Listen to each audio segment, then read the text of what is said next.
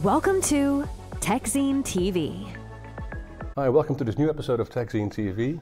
I'm at Schneider Electric's Global Innovation Summit, and I'm here with Steve Carlini. You have uh, an in- interesting role at Schneider, right? So could you explain a little bit more about that to start with? Yeah, I'm, I'm now the chief advocate for AI in data centers. So I spend a lot of time uh, speaking at events, talking to the press, talking to analysts, and writing a lot of content uh, about Oh, you're, what's you're, you're, a fe- fellow writer, basically. Yes, yes, yes. Ah, so we can make, maybe exchange notes on that as well. you like writing? I do. I, I, I find it uh, much, much good. more interesting writing than. Okay, so uh, I want to talk a little bit about um, the data center of the future. Mm-hmm. Obviously, uh, companies like Schneider play an important role in this because you you make, make lots of of that that development possible. Yeah. Hopefully. Um, one of the things I want to start with is the ro- so the road to one megawatt per rack. I mean, I, I still remember the days when we talked about five kilowatts, five whatever. it Yeah. wasn't wasn't very big, but now we're up at up, up to about 40, 50, 100, depending Mm-hmm. on your workloads. So could you just why how do we how do we get to one megawatt per rack? So one megawatt per rack, it's it's you know it, we went through we went through this discussion I think a decade or so ago, and there was a lot of speculation that uh, you know power densities would, would go very very high, but I think the the the architecture of the of the servers was usually one socket, two socket, x86 server, and the new the new architecture for accelerated compute is much much different. It's all it's GPU based. You can parallel, you know, up to eight and some servers 16 GPUs. You're using CPUs to control those. Mm-hmm. You're using DPUs to control the data flow going in and out of those. And and there's a tremendous amount of, of memory in, mm-hmm. in these servers. So the density is is much much higher, and the TDP of the GPUs is much much higher. So the the industry was really resistant to to drive the densities higher because the data center designs. What were- was that? It was, it was Intel too powerful, or what- what's It the, was yeah, it was Intel that uh, I think you know had complete control of you know the Xeon processors were in you know every server and every data center. So are you saying that we could have gone higher in density way before? Because obviously the reason we're doing it now is because it's it's necessary as well, right? Not only because there's a new form of compute, but also because that compute enables stuff that people want, and so you, you need to be higher in density. Yeah, you kind of reach the physical limits of, of the, the CPU, and the CPU is, is what I call like the SUV of the, of the mm-hmm. processor world because it can do many different things. Where the accelerated compute GPUs just, just go fast and, and, and crunch as Yeah. much data as possible. So you have you have the, the, the driver of of the different type of computing architecture, which uses a lot more power. Then you have the necessity of running these GPUs in parallel. So mm-hmm. when you hear when you hear NVIDIA talk about you know a giga you know watt data center, they call it sometimes an AI factor, but they also call it a GPU because it's it's representing itself as a single GPU. So that's what's causing this densification, the need the need to, to, to put these Yeah. GPUs But to a certain extent, that's quite funny because I mean, we talked about uh, being very reliant on what Intel wanted before Yeah. this, but now we're actually doing whatever Nvidia wants, right? Well, we're doing what the what the architecture Yeah. demands to, to to operate, you know, at, at, at, at these at these speeds. Yeah. So how much are you in control as Schneider uh, as, as, as to where this goes, right? I mean, obviously you do you do com, um, you do co-work on, on reference designs. I know Yes, that, right? yes.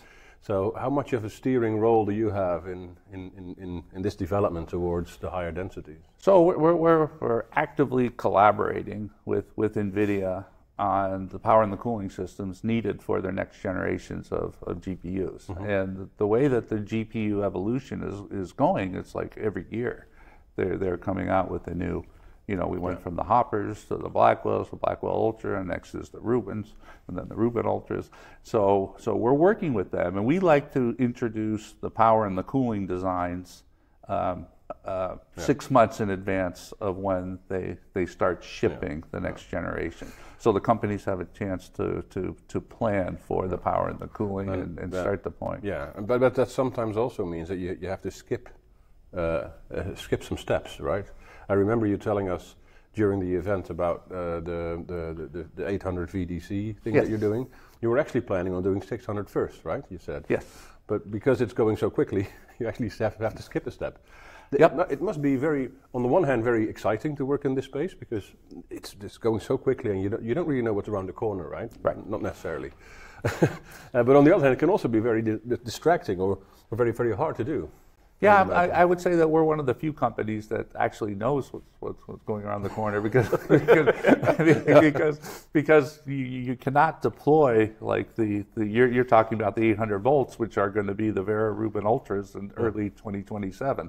So in order to be able to support the 400 kilowatts per rack that that, that they're going to be uh, requiring, we're going to have to change the architecture of the power from the utilities to the servers to 800 volts DC. So, so that's that's something we're actively working on. There's different ways to do it. You can do it initially. We, we introduced uh, a a sidecar that's take we're taking the power supplies out of the servers and we're putting them kind of in a, in a separate cabinet. So so the IT equipment will just be Yeah. just uh, That's basically what happens in a, in a so a smaller scale version of what happens with the data center itself, right? Yeah. Because you see much more you see much more modules and pods being added outside of the data center nowadays, and not necessarily inside it anymore, right? So this Yes. is more or less the same thing. Yeah, yeah, yeah. The the IT rooms and the and the and the rows and rows of, of servers is it's really it's really morphing into a very very small concentrated area of compute, and then the real real estate that's is going to be outside, where, where your chiller plants are, where your your uh, your your switchgear, your your UPSs, and and you know your backup generators are going to be. It's going to be interesting uh, to see because the, the the image that most of our viewers and listeners probably have of data centers are just like big warehouses that you see. Warehouses, Yeah, exactly. but that's that's going to change as well. Not only because of you, because of what's happening on the outside, but also because of what's happening on the inside, right? Exactly. Yeah. Exactly. And and the 800 volts I think was was was was was chosen instead of the 600 volts because 600 volts couldn't get you to the one megawatt per rack Yeah. that, that that we're going to. And, And that's 2029. 2028, 2029. That's, Fein- yeah, that's yeah. Feynman, right? Yeah, That's the yes. Feynman. Uh, That's the uh, Feynman. Yeah. So that's uh, another four years. That's, a, that's sort of an eternity in, uh, in this space. You never know where we're going to end up. But it's uh, but it but it's not not that an eternity that you don't really oversee. You, you can't really oversee it, right? So it's it is actually quite nearby. It is quite nearby, and we're even we're even working on you know what's going to happen after that, which is which is you know it's going to be you know you know Yeah. quite a quite a big jump after that. Yeah. So so obviously for for cooling this kind of stuff, you need liquid cooling. I mean that goes without saying. But I think uh, starting from 50 50-ish kilowatts. Yeah, around That's more- 50, 50 kilowatts. You know, it's it's very difficult to do. You know, you can do rear door heat exchangers up to up to 72. Yeah, yeah, I know. Yeah. But the, the, sort of the measurements differ a little Yeah. bit if you look Yeah, at the, yeah, yeah, the, the, the exactly. figures. But uh, but I, I also heard you say something that because uh, a lot of it is still air cooled, uh, so uh, your, your power supplies and all that, uh, all these Yes. things. That might be tricky if you have to combine air and water. And I think I, I think you mentioned also that maybe we're moving towards full uh, liquid cooling, also for the, the, the what you would call normal air cooled stuff. Yeah. How, how, how would that work? Would you just immerse your power supplies and and be, be, be done with it, or how does that work? Yeah. So right now, when we when we talk about a liquid cooled data center, we're usually talking about direct to chip. So so basically, the part of the data center that's liquid cooled are just the processors, mainly mainly the GPUs. So you still have 20 or 30 percent of the equipment. So the IT industry, you know, is working on uh, designs where the things that aren't direct to chip can be cooled with liquid cooling. So it's it's the, kind of the whole way we look at the you know the standard IT racks and things that that, that may may all morph in the future as we start um, immersing the you know the other equipment, the networking equipment, the power supplies, and, and, and liquid cooling those as well. I mean, that also would entail quite a big redesign of your of your data center as well, I would imagine, or not? Right, like we said though, the IT, the IT part of it is getting smaller and smaller. Yeah. So it's going to be, you know, so the need to standardize the racks to be able to put in standard thousands of standardized servers, that all goes away. So you can do these bespoke designs, you know, and just put everything in this, you know, you know, sealed in these uh, immersion tanks and, and liquid cool everything. Obviously, a lot of people maybe not really in, necessarily in the know. Uh, when they hear liquid cooling, they say, "Oh, don't use all our drinking water and all that stuff." But that's not necessarily how this how this works, right? If you have proper liquid cooling, you have a closed loop system. You can. I, I, we've been to the. I don't know if you you were, you were in there earlier this year, but we've been to Portugal where you had where they where they built the data center where they used the the, the, the seawater to actually cool the the, the, the closed loop liquid in, in inside Yeah. the data center. Yeah. So, and I think I heard you say something interesting uh, yesterday as well. Is that we're actually going to use less and less water? How does that how does that work? Because you still have to cool your liquid in your data center. So how would you how do you suggest we we use less and less water? So, so the more traditional way of, of cooling is with like cooling towers and evaporative cooling, and which uses a lot of water. It's it's it's it's an efficient way to do it electrically, but it uses a lot of water, which we can't do. So we have to move to more of the closed loop systems, and the closed loop systems recirculate the water. Yeah. So so it's we're not using as much water, and like you said, there's other ways that we could use, like using seawater to cool the water that's that, that's circulating. So so it's it's it's it's liquid cooling is is is not new. It's been around no, for, for 50 years. I mean, I, I come from the from the consumer space. So liquid yeah. cooling for gamers has been around for I don't know how Yeah, long. All yeah. the nice bubbles in your, uh, in your Yeah, all exactly. nice colors and all that. no, but do- do you think do you think liquid cooling will have a fundamental foundational effect on uh, where we place our data centers? Is that is, or is it more because you can obviously use uh, electricity to to cool your liquids in, inside your closed loop, but but the, more and more I see companies deciding to build a data center in, in a spot where, for example, there's an underground river or there's a, you know all that stuff. Yeah, or, or cooler environments. There was a big there was a big push in the Nordic countries to build to build data centers to take advantage of the free cooling because, like you said, you know the the the, the, the chilled the, the chilled water is going into the data center. It's coming out as, as hot water, and and that heat has to be has to be dealt with. And if you're in a cold environment, you could just deal with it in an environment, you know, with the environment, which is cold air, or you could deal deal with it with cold water. That's our uh, that's naturally uh, there. So But probably there's also limits to that, right? But- There I- are limits. But I heard you mention that Alaska is, is also very, very yeah, keen on Alaska's very interested in. how many people want to go there to, to, to work on. I mean, that's, That's a whole different discussion. well, I mean, because even though they're very cold environments, I can imagine that actually Uh, having to run it and having the people to run it, that, that obviously that's a, just, that's a different discussion, but that's also need, you also There- need yeah, there, about there, that, there, right? there, there's this philosophy that you can put a, data, a training data center in, anywhere. So because you know it's not going to interact with, with people, Yeah. but but the data and the people that it's going to have to interact with, like the Abilene data center, the Stargate data center, is they're going to only do training and usually kind of medical oncology type of research in that they're not going to be using it for inference or for working models but most of the other data centers have to, to be able to monetize them have to be at some the, point the Abilene one is the one where Oracle is also Yes, involved, the right? one with the, Oracle. The, the, huge one. yes yes yeah. Um, One, the first of the first of 10 or the first of yeah, 20 it's, it's, a humongous thing. It, it- does it? Does that also have its own power supply, or? or So, not? so No, yet. it's it's going to be uh, my understanding. Two thirds of it are going to be natural gas turbines. Oh, okay, yeah, yeah. So they're going to. So they're Because, gonna, because you also now see a push for SMRs and all that stuff, right? So um, modular reactors to, um, to, to, to, to, to power the, the data centers. yes, SMRs because because of the, the, the, the complexity and timing that you're going to need for to modernize the grid to bring more power. You know, substations, high voltage lines.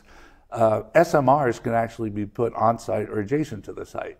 So and and they have very very high inertia. They're not like wind and, and solar, which has less inertia. But the the, the, the the SMRs are very very stable. Well, what do they call them now? Is it pink energy? No, pink. Wait, wait, So- it's not green, but pink. What is it? again? what is it? again? So so pink pink is yeah associated with with with, with, Yeah. with, with nuclear now. Even though that you could argue that is the greenest form of energy, but I mean, yes, but, but obviously there are other other sort of. d- d- ob- So the SMRs are designed to run on off of recycled ur- uranium that's discarded from Yeah. traditional uranium. So So it has a lot of benefits. It doesn't need the power distribution. It can run on, on lower lower dosage uh, uranium, so it seems to be much more stable. And it, in a lot of cases, and they still haven't been you know, tested and, and, approved for this, but you, you know, most nuclear sites have to be adjacent to some kind of water to, to cool them. but these, these, they say, could be buried in the ground and, and air cooled. Mm-hmm.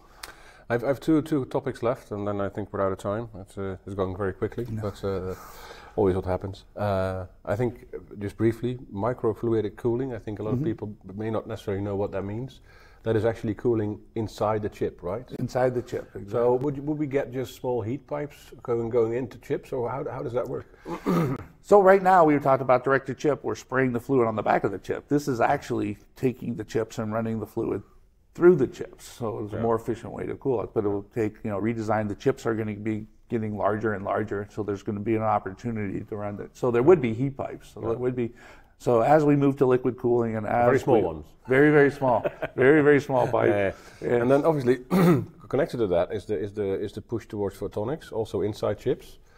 I could imagine that can also have a, a an in, interesting effect on on how much cooling you need, right? Because if you have photonics, you don't have the electrical kind of uh, switch from uh, from uh, you don't have the switch from electrical to, to light and, and the other way around. So it, it, will generate less heat, I would imagine, right? Yeah, the uh, the, the, the, the, data that, that, that we're seeing from the, the test sites with photonics shows a, a pretty big uh, increase in efficiency. Oh. So so less heat output. So it, it would require much less. Do you have uh, do you have any idea on indication of how much of that increase in efficiency or decrease of heat generation will yeah, be? the, the the data that I saw, so it was 30 to 50 percent. Oh, so that's, uh, that's quite impressive. It's quite impressive. Yeah. And then the, the one megawatt per rack is actually uh, you can get higher density still, right? yeah, until the world needs you know less and less processing and, yeah, that's not, that's not automation anytime yeah. soon. No. Uh, the final topic.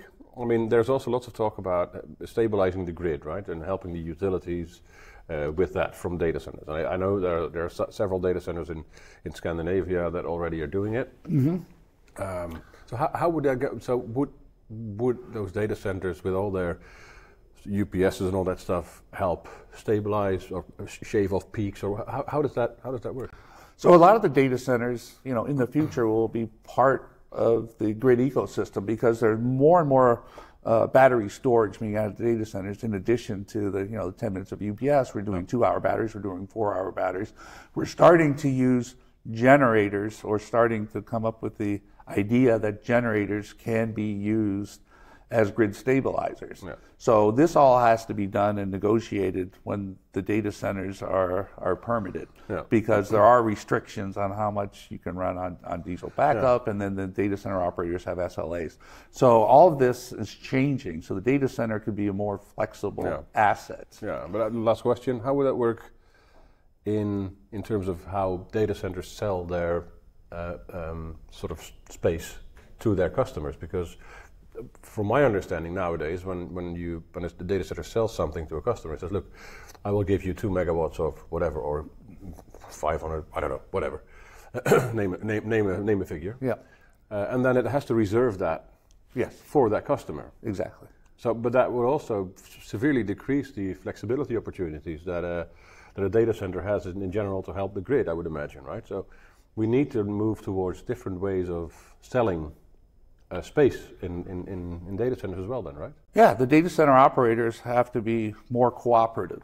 Yeah. So, yeah, they were very, very restrictive and they had the SLAs with the customers. But if you negotiate all that up front, you yeah. can negotiate the fact that the data centers can be more flexible right. and the customers, you know, you know, that have this power reserved, you know, have to have that power allocated to them. But the data center operators in, in the yeah. future can. Well, I think what, what's needed as well is, is make, have, giving them an incentive to do this, right? Yes. Because obviously, if they, if they can benefit from it as well, the data center operators, they, they will be much more likely to. Uh, to exactly, exactly. All right, thank you very much for this interesting uh, discussion. It was, no, uh, it was great. Pleasure. Thanks for talking thank to you. you.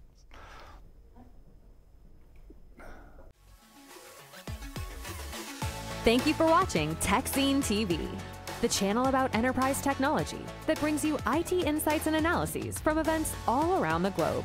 We cover everything, everywhere. Visit techzine.eu for more written in depth articles and analysis, or keep watching techzine.tv. Don't forget to subscribe to our channels and share your favorite videos with your colleagues. We'll see you soon.